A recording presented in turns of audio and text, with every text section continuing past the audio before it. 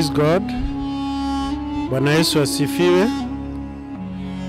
Uh, I want to apologize that this teaching on Holy Communion was not able to be aired yesterday because of the problem of power. But I thank God that today we are here and we shall be able to air it as planned. Praise God. Uh, this morning we want to share uh, or learn about what is Holy Communion and who should partake it and the benefits of Holy Communion. My name is Benjamin Mwaura. This morning I'm born again. I love the Lord as my personal Savior. Our teaching this morning will be taken from uh, the book of Luke, chapter 22, verses 14 to 20. And then we shall also look at uh, 1 Corinthians, chapter 11, verses 17 to 34, apart from other books maybe that I may quote. Uh, in the book of Luke, chapter 22, and verses 14 to 20, it says, And when the hour came, he reclined at a table, and the apostles with him. And he said to them, I have earnestly desired to eat this Passover with you before I suffer. For I tell you, I will not eat it until it is fulfilled in the kingdom of God. And he took a cup, and when he had given thanks, he said, Take this and divide it among yourselves. For I tell you that from now on I will not drink of the fruit of the vine until the kingdom of God comes. And he took bread, and when he had given thanks, he broke it and gave it to them, saying, This is my body, which is given for you. Do this in remembrance of me. And likewise, the cup after they had eaten, saying, and likewise, the cup after they had eaten, saying, This cup that is poured out for you is the new covenant in my blood.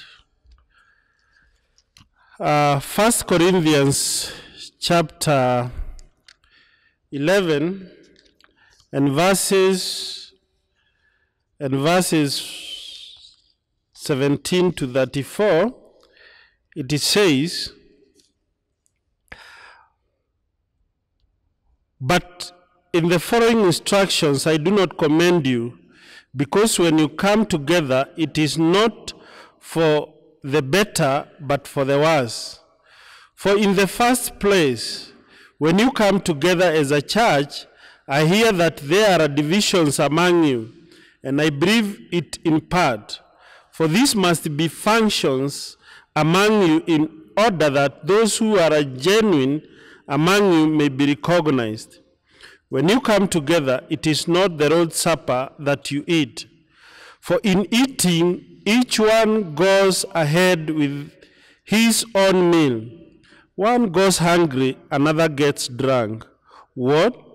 Do you not have houses to eat and drink in? Or do you despise the church of God and humiliate those who have nothing? What shall I say to you? Shall I commend you in this? No, I will not.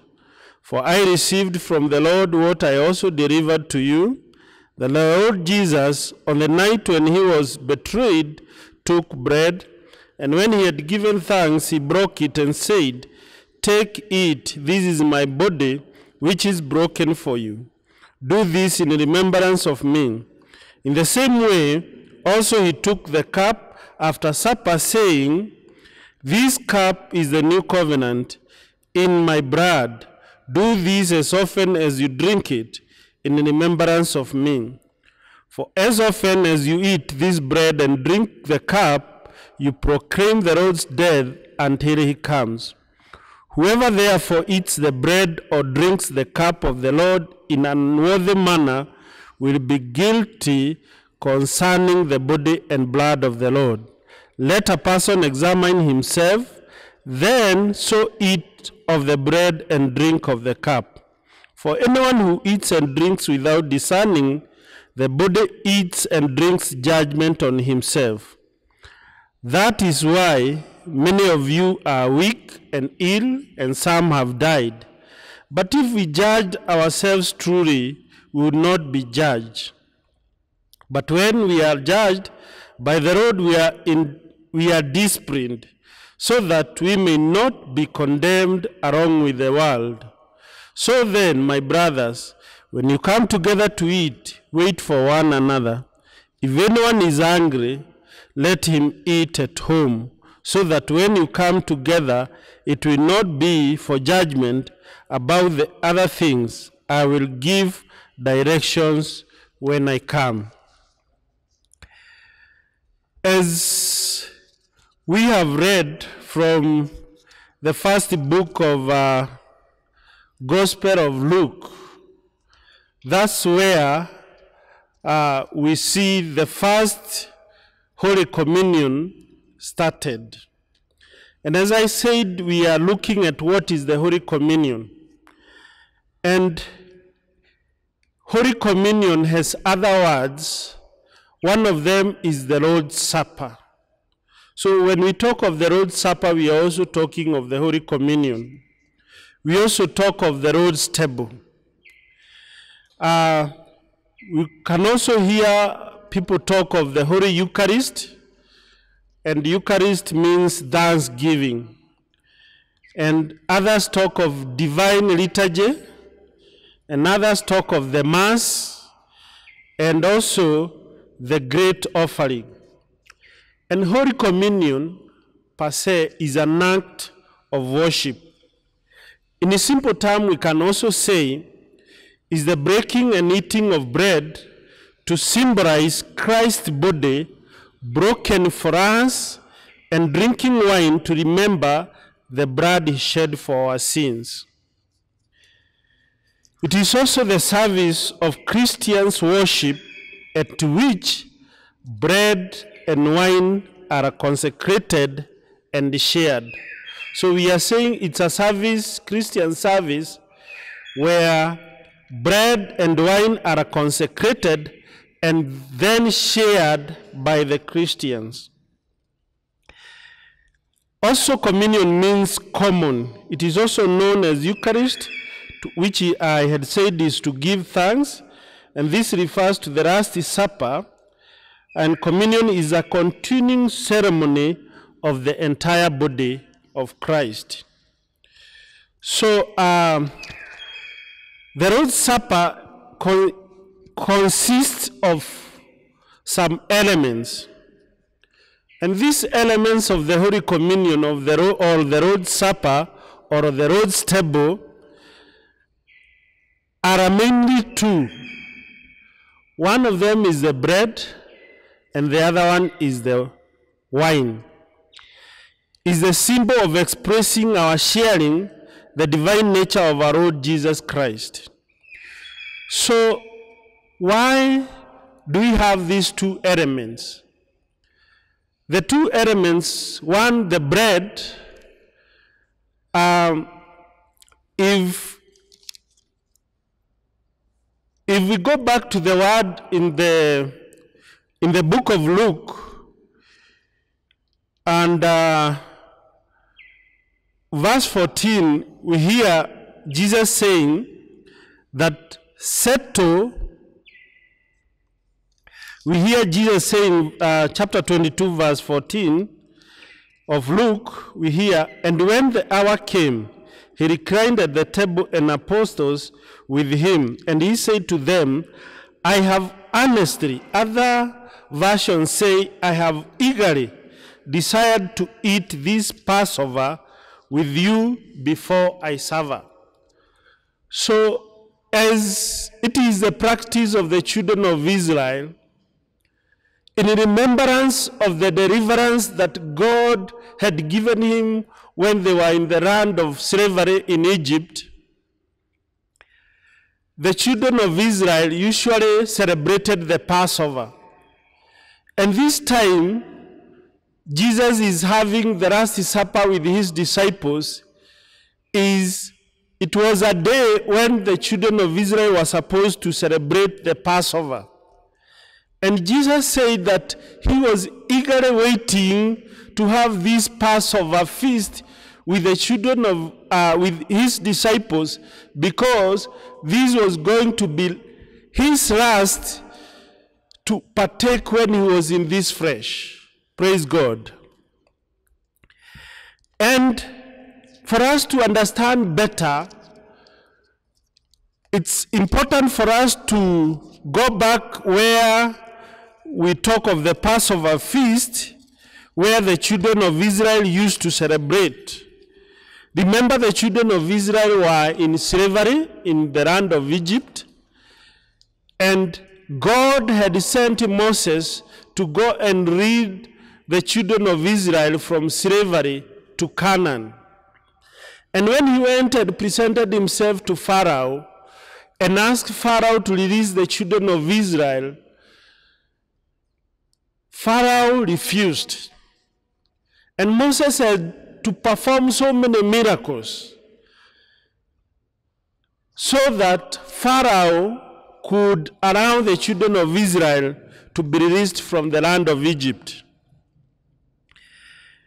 And it reached a time when the Lord decided, if we go back to uh, the book of uh, Exodus, chapter 12, we read of, uh, if we start from verse 1, let me just go through it for us to better understand what I want to say. The Lord said to Moses and Aaron in the land of Egypt, This month shall be for you the beginning of months, it shall be the first month of the year for you. Tell all the congregation of Israel that on the tenth day of this month every man shall take a ram according to their father's houses, a lamb for a household. And if the household is too small for a ram, then he and his nearest neighbor shall take according to the number of persons, according to what each can eat. You shall make your account for the ram. Your ram shall be without blemish, a male a year old. You may take it from the sheep or from the goats, and you shall keep it until the fourteenth day of this month. And when the whole assembly of the congregation of Israel shall kill their rams at twilight, then they shall take some of the blood and put it on the two doorposts and the lintel of the houses in which they eat in which they eat it. They shall eat the flesh that night roasted on the fire with unleavened bread and bitter herbs. They shall eat it. Do not eat any of it raw or boiled in water, but roasted. It, its head with its legs and its inner parts. And you shall let none of it remain until the morning. Anything that remains until the morning you shall burn. In this manner you shall eat it with your belt fastened, your sandals on your feet, and your staff in your hand, and you shall eat it in haste. It is the Lord's Passover. For I will pass through the land of Egypt that night, and I will strike all the firstborn in the land of Egypt, both man and beast, and on all the gods of Egypt I will execute judgment. I am the Lord. So as I was saying, this is the, was the kind of Passover that the Lord had ordered the children of Israel to partake or to arrange and do this. And it was to be done by all the households of Israel. And this is because God had organized to strike the firstborn of all Egyptians, neither human nor a beast. You can imagine what uh, a terrible death there was in Egypt. For all the firstborn of human and even of the beast. That means the cows, the goats, all that belongs to the Egyptians. And God was doing this so that he could deliver the children of Israel. And we, as we have gone through, we read that they were supposed to look for a one year lamb that is blemish of a goat or of, of a sheep. And then they were also um, to eat the flesh that night roasted on fire with unleavened bread and bitter herbs, they shall eat it. So we are talking of this feast that had many things that the Israelites were supposed to eat. They were supposed to eat the meat, they were supposed to eat the unleavened bread, and they were supposed, uh, uh, this unleavened bread was uh, supposed to be spread, uh, to be put uh, bitter herbs. And when Jesus was talking to his, uh, when, when he was sharing the Last Supper with his disciples, he took bread. I can imagine that the meat was there as the instructions were. The bitter herbs were there.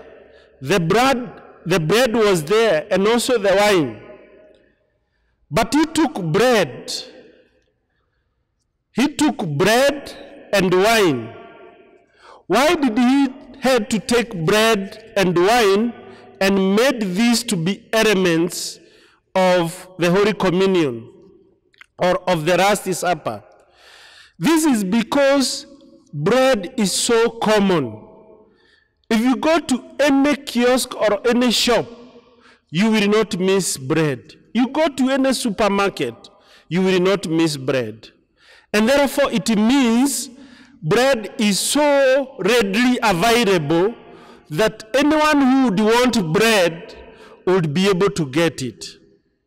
That means Jesus chose bread to be a symbol of his body because he was to be readily available for anybody who would want, uh, would want to have him.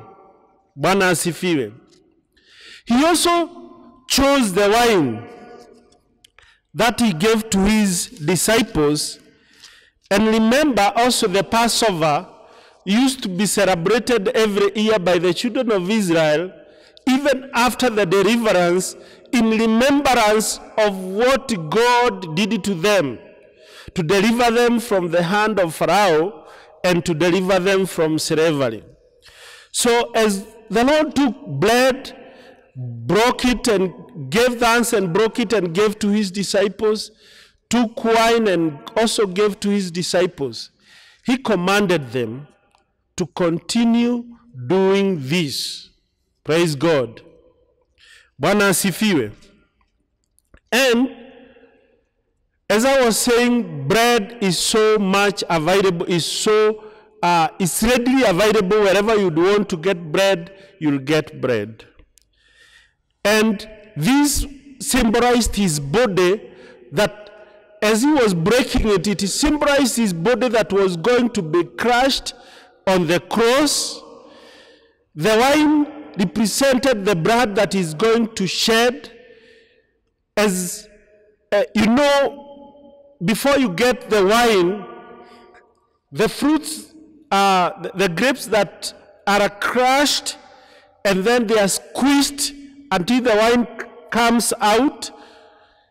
This is what the Lord Jesus Christ was to undergo. He was to be crushed so that his blood would be shed on Calvary so that we would be saved. And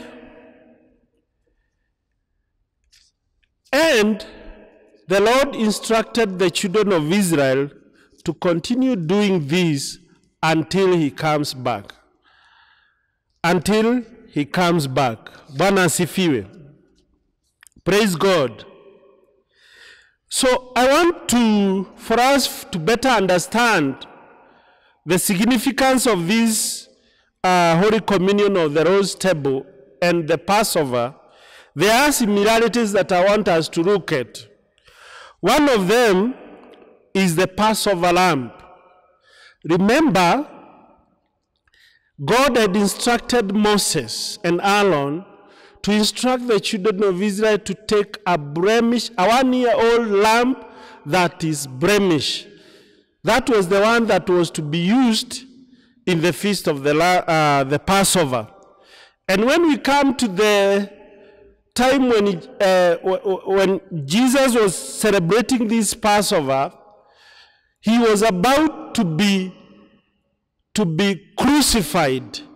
And remember, he is the sinless Son, the blemished Son of God.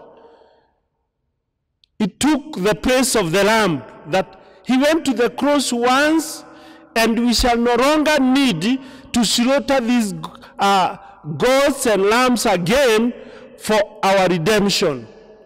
Because Jesus' blood and Jesus' body, it is enough. Bwana asifiwe. And also Jesus Christ was blameless. He was a son without blemish, like the lamb that was blemish.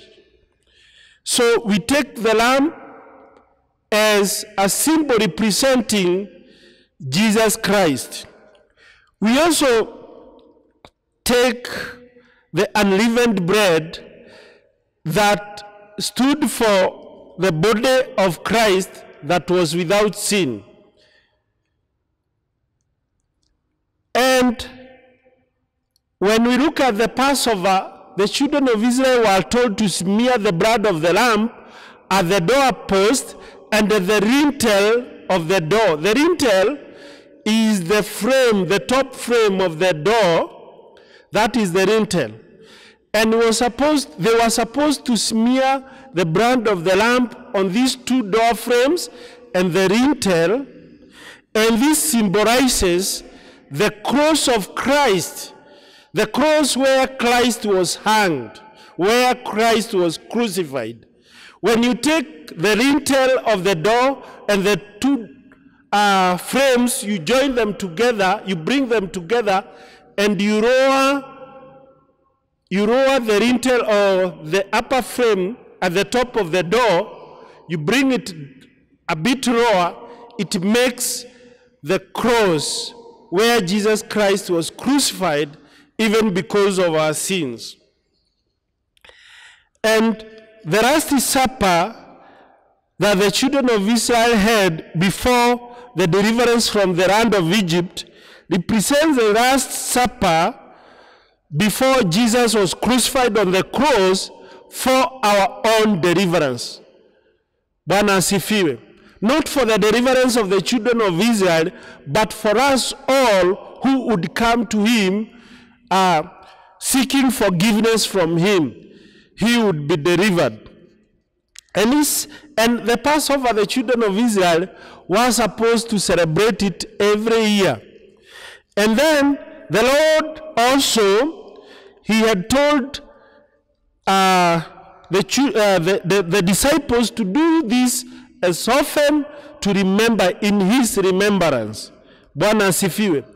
So whenever we do this, whenever we have the Holy Communion, we remember the salvation. We remember the death of Christ on the cross that he shed, that he suffered, even because of our sins. Bwana. We look at who should partake of the Holy Communion. There are so many controversies about who should partake of the Holy Communion. Bwana asifiwe. And this has even divided churches because of who should it take or how should it be taken. Uh, those who should partake of the Holy Communion, they are people who should have faith in Jesus Christ. In other words, they must be born again. And there are people who must be forgiven. They are forgiven their sins and they have also forgiven others. When, when we went through the first book of Corinthians, chapter 11, we saw how Paul was telling the church of Corinth because he had found out they had problems when it came to the Lord's Supper. And he said, uh, if we go back to the First Corinthians and chapter 11, uh, First Corinthians chapter 11, and we look at uh, uh, and we look at verses 28. The Bible says, "Let a person examine himself, then and so eat of the bread and drink of the cup." We are saying the person who should partake is somebody who is born again, person who has examined himself, because apart from being born again, we are able to sin.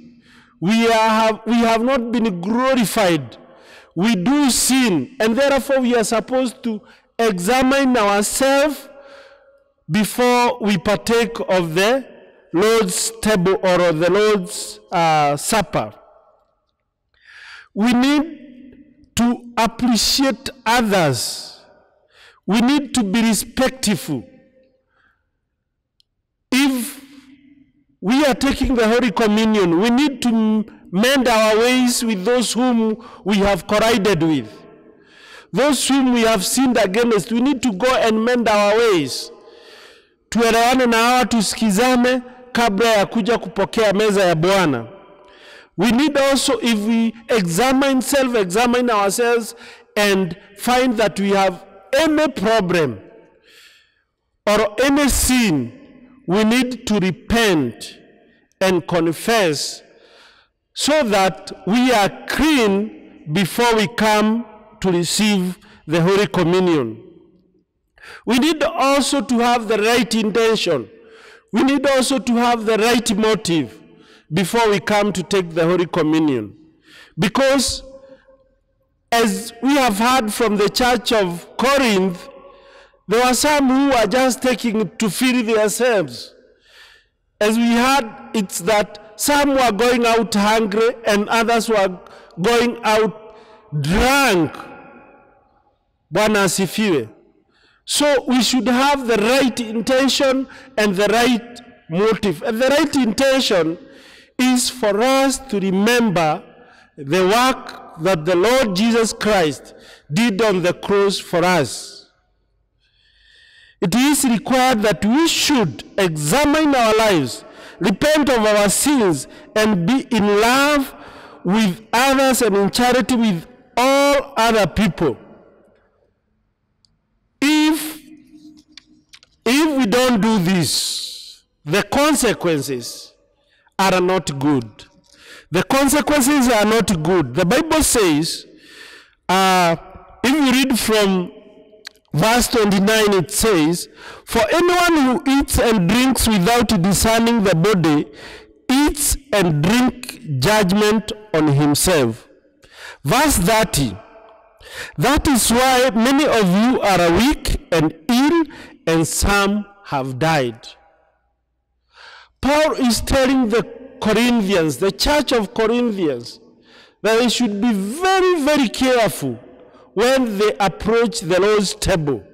And he's telling them, this is because, uh, because you have not discerned yourself, you have not self-examined yourself, this is why some of you are weak, some of you are sick, and some of you have met early deaths that have got no explanations, even because of not discerning what you are doing when you come to the Lord's table.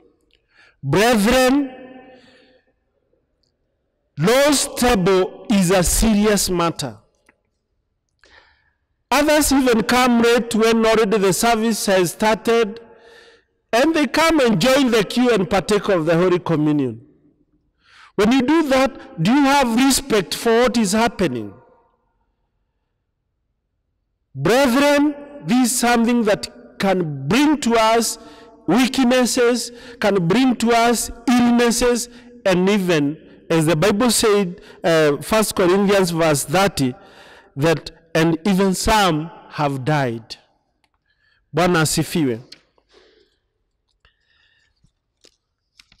I might not be able to over, to overemphasize the benefits of having the Holy Communion.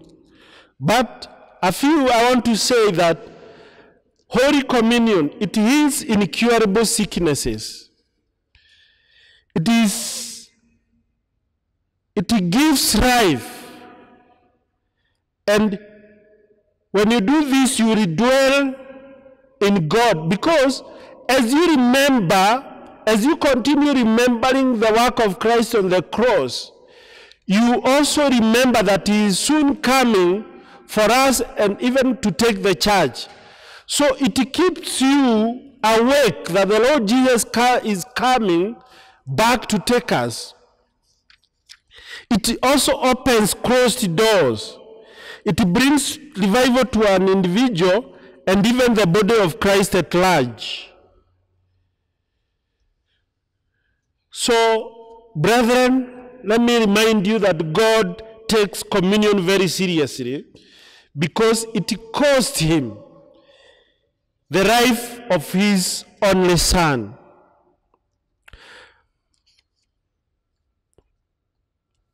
To purchase us and redeem us from the from the curse of the law, you are saved not by keeping the law, but by by what Jesus Christ has done for you at Calvary. His victory over death by the ordinance of the Holy Communion. It also reminds us of his suffering and assures us that the amount of love Jesus has for us. So as we come to partake the Holy Communion, it reminds us of his suffering and the love that he showed us. Bwana. And therefore, my dear brethren, we need to be very careful as when we come to partake of the Holy Communion. And as I said, the symbol of the body is because the Lord Jesus Christ is readily available for any one of us who would want him. Those who have not received Jesus Christ through the teaching of the Holy Communion, it is good that you receive Jesus Christ, the Lord and Savior of your life, so that as you continue even partaking of the Lord's table or the Holy Communion, you are reminded of what the Lord Jesus Christ has done on the cross. Thank you and God bless you. Let us pray. Heavenly Father, in the name of Jesus Christ, we want to pray this morning that many of us, Lord, have problems even because we had not known the Lord, at times we come to partake of the Lord's table without examining ourselves. How I pray that you help your people to examine themselves and Lord to take uh, to take a new direction even to, in regards to the Holy Communion. I pray the Lord you continue opening our hearts and even our mind and our souls. The Lord you may continue you may continue to expound this word in our hearts so that Lord we may be better each and every day. Thank you Lord even for the work that you did on the cross to die for our sins, the blood you shed that cleanses every sin and every difficulty and every illness. Lord, we pray that you gonna even meet us at the point of our need. Thank you for each one of us who is watching us at home. We pray that, Lord, you bless them mightily. In the name of Jesus Christ, our Lord and Savior, we pray. Amen.